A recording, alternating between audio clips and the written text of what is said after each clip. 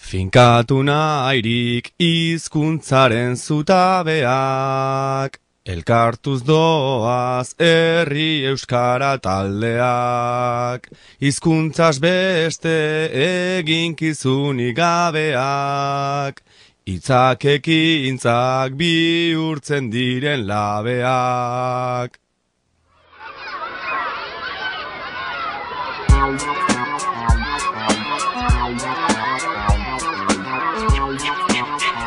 Euskara Elkarteen sorrera eta garapena ez dira errazak izan. Hori, ongi dakigu Euskara Elkarteetako kide eta lagunok.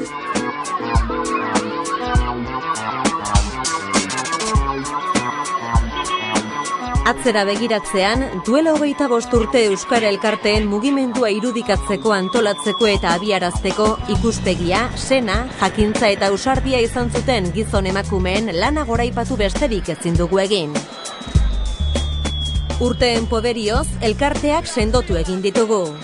Euskara, karga ekonomikorik eta sozialik gabe, aberastasun iturri, lanpostu sortzaile eta komunitatearen lotura sendoa dela erakutsi dugu. Euskal Herriko bazter guztiak arrotu ditu Euskara Elkarteen mugimenduak.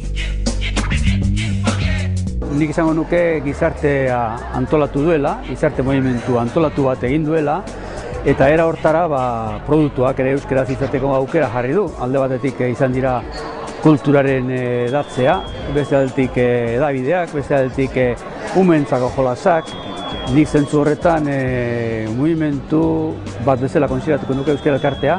Normaltasun osoz eta bizitzaren arlo guztietan e, Euskaraz bizitzan jendia egon badagola, beraz hori ez dala e, zera, amez bat posiblea dela. Eta gero jende horrek gainera eragin indau. Eta arlo hietan guztietan ekarpenak egin ditu besteek ere konpartitu izateko. Euskara elkartei esker e, herri askotan e, lortu degula erabilera dinamika berriak sortu ahal izatea. Lortu degula e, edabideen bidez euskara etxe guztietan egotea. E, lortu degula aurre eta gaztentzako iniziatiba berriak sortzea. Eta batez ere e, lortu degula e, espazio komun bat nun oso era diferentetako euskaldunek bat egiten duten euskara egiteko, euskaraz egiteko eta euskaren alde egiteko. Euskara eskubidea dela pentsatzen dugu. Baita konpromisoa eta militantzia ere, baina batez ere identitatea eta izaera ematen digun hizkuntza. Lanerako, bizitzeko, gozatzeko eta izateko dugun modua. Duela amar amabost urte edo, ba, Euskaldun du edo Euskaldun bihurtu nintzen, eta nire bizi guztia giro erdaldunean izan dela, ez? Da hortik abiatuta ikustea gaur egun nik neuk e, laguntzen dudala hainbat proiektu Euskaraz eta e, kudeatzen eta e, Euskaldun berri bezala sentitzea egunean hori lau orduak Euskaraz bizi zaitezkela eta hori gauza handia da. Edukiz jantzi da nire bizitza, bizitza zati egon bat bintzat, eta Euskal Zaletasunan inguruan murgildu eta bizi izateko posibilitatea mondozta. Baina egiz esan, maia pertsonalian maio, edo maia pertsonalian be, eragin euki badau izan da, e, maia kolektiboa izan dalako enormia, izan dalako talde humano handizia euki inguruan, talde humano potente bat sortu dalako herrizan bertan, eta horrek garrantzi zeukitza eragin dau maila personalean be garrantzi zeukitza. Euskara kartak herriari bizitza ematen dio. Herria bizi, bizirik dago, olako elkarte batekin. Ekintzak e, herritarrak batzen ditu eta eta denok parte hartuz, ba, herriak bizirik, bizirik jarraitzen du. Nik eskaini dizkio ordu asko eta asko, baina ez naiz damu. Ez naiz damu gustora eskainitako orduak direlako. Orduan eskaini diot ahaldudan oberena. Orduak eskaini diot ahalegina eta lana. Orduak sartu dituzte askok Euskara Elkarteetan. Izan ere, kultura eragile, edabide sortzaile, gazte zeinume bilgune, ekintza eta egitasmo bultzatzaile izan dira eta dira Euskara Elkarteak.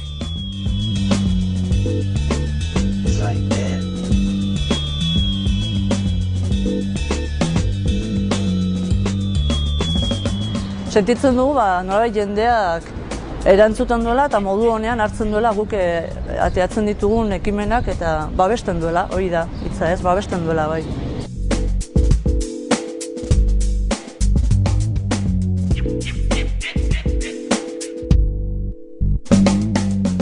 uste guretzako gaur egun euskara lantresna da.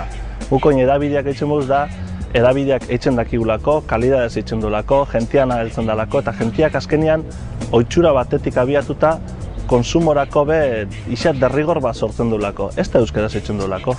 Euskeria tresna bat baino ez da, eta gainera ala izan biako leuke. Horretara joan biako gainak, euskera normalizazioa hori da. Lan sortzaile izan dira Euskara elkarteak, baina Euskararen normalizazioak voluntarioen lana ere behar du. Eta zenbaitetan ez da erraza izan. Gazteenen artean batez ere kosta egiten zaiela, ez urratxo hori ematera, gero jasotzerakoan bai, hori eskeroneko hitzak beti izan ditugu, laudorioak, eta inoiz aldizkaria bera bakinka larrian egon bada, eta halako oharren bat edo piztua dugu zenez, kontuz, eh? hemen bada arazotxon bat, jendea bere ala larritu da, eta zenez, uh, nola geratuko gara ba, maiope gate, ez? Maiope behar dugu.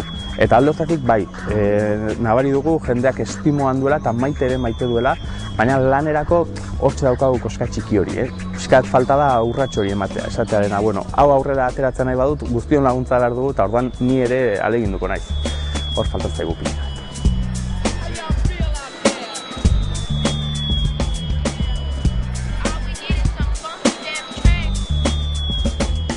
Umientzat oso, bai umientzat eta bertan e, lanian dauden entzat, oso aberazgarria da. Gazteen aisialdirako askotariko eskaintza dute Euskara elkarteek. Ba, ekintzak eta ba, guztauko bat dako ulako ero. Gu prestatutako ekintza batzuk eta estatutan izaten die, ba, ja indada zen hau, programa eta zena, eta adibidez programa eta ba, izaten die, ba, saldi ibiltzera joan. Ba, guztore egoten zara, ba, euskeraz eta lan etzegin, eta guztore egoten zara lako. Lehenengo ibili ginen ludotekan, eta ludotekakoak ba, esan zuzkun, ba, ja, e, ludoteka guretzat, ba, gure adinerako ja, esan, eta ba, esan zuzkun, ba, gaztetxoko basoko gula. Eta berdoan joan inginen, eta ba, gabiz gustora. Eta. Lagun gehiago inditzugu eta holan, eta ba, han eurixata egiten doenean joaten zara, eta han ba, entreten iruitxe zara, ez?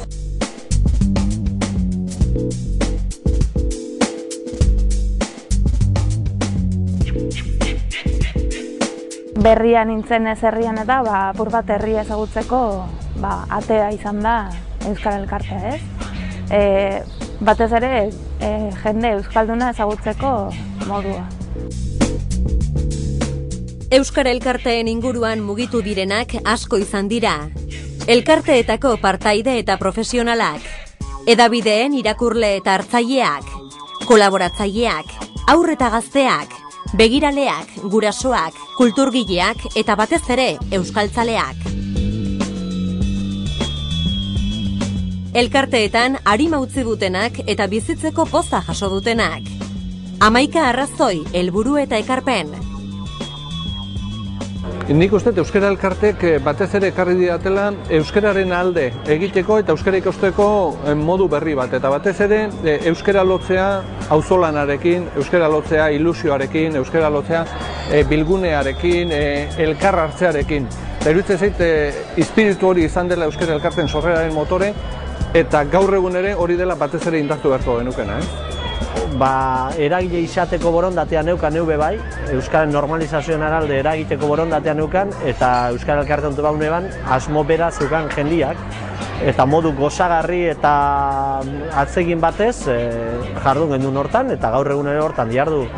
Euskara Elkartien lanitxiak lagundu dira asko pertsona moduan aztera eta, eta nire burua ezagutzera. E, ba, hori udalekutan bizi, bizi izan ditudan esperientzia guztien gaitxik eta... Herriko partaide izaten laguntzen dizu. E, herriko ekintzetan, behaiek antolatzen dituzten ekintzetan, ba, parte hartuz e, herritar sentitu da arazte zaitu. Euskal Elkartean sartzeak suponitu zuen ba, Euskal erreferentzia bat. Euskal erreferentzia bat eta Euskaldunekin topaitiko leku bat. Topaguneak Euskara Elkarteen Federazioak amar urte bete dituen honetan, eta Euskara Elkarteen mugimenduak hogeita bost betetzear dituen gara honetan, atzera eta aurrera begiratzeko aitzakia dugu Euskara Elkarteetako lagunok. Etorkizunean asmatu nahi dugu, Euskaraz bizitzeak merezi duelako.